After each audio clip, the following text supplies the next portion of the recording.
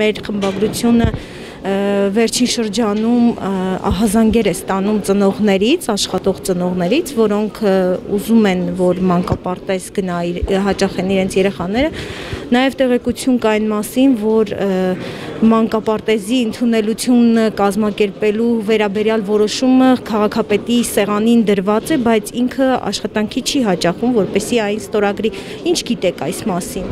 Ես գիտեմ, որ այս մասով կան օբյեկտիվ պատճառներ, որը պայմանավորված է առողջապահության նախարարության սահմանած չափանիշներով, ըստ որի խմբերը սահմանափակվում են եւ մեր ավանդական ճակերտավոր ունեցած հերթերին գումարվել են նաեւ այս հանգամանքով պայմանավորված հերթերը եւ որքան հասկանում եմ, դեռևս իրավիճակի հանգուցալուծում չկա, որպեսի հավելյալ ընդունելություն լինի եւ երբ առողջապահության նախարարությունը այդ թույլտվությունը տա, դա տեղի կունենա, բայց հաշվի առնելով վերջին թվերը մտահոգիչ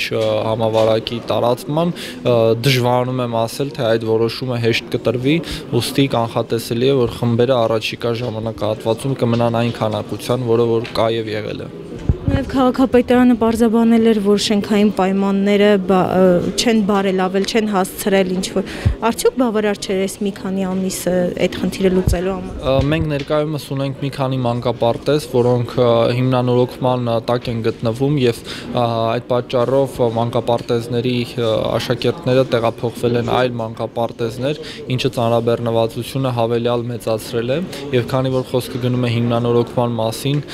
ենթադրվում է, որ դա մի քանի ամսից ավել երկար ժամանակահատված կտանի նաև դա է իհարկե ծանրաբեռնվածությունը մեծացնում բայց իհարկե առաջին հերթին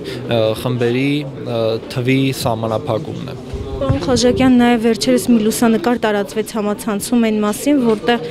որ, որում պատկերված էր, որ միկրոավտոբուսը նոր բերված փչացել է։ Ինչ գիտեք սրա մասին, արդյոք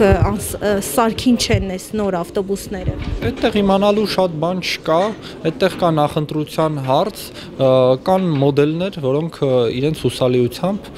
տարբերվում են այլ, օրինակ եվրոպական արտադրության մեքենաներից եւ դա բնական է, դա գնի մեջ էլ արտացոլված է։ Յուրաքանչյուր մարդ, ով որ գնում է, ասենք, գերմանական արտադրության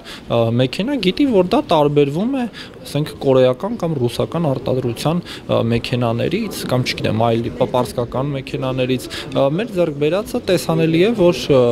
իր հուսալիությամբ շատ չի տարբերվում, ինչու որովհետև մեր քաղաքում եղել են տասնյակ հարյուրավոր գազելներ, որոնք իրենց հուսալիության ցածր լինելը ապացուցել են տարիների ընթացքում, ուստի պետք չէր պարզապես նման ձեռքբերում կատարել, պետք էր պարզապես բարձր որակի ավտոբուսներ ձեռք բերել, ընդ որում այս դեպքում ոչ այնքան մակնիշն է կարևոր կամ որտեղ է արտադրված, այլ որ այն լիներ ավտոբուս ոչ թե միկրոավտոբուս, այո, կամ գազել վերելակների հետ կապված պարոն Խաչակյան մենք քաղաքացիներից եւս հեռախոսազանգեր ենք ստանում այդ մասին, որ նոր տեղադրված վերելակները երկար ժամանակ չեն աշխատում։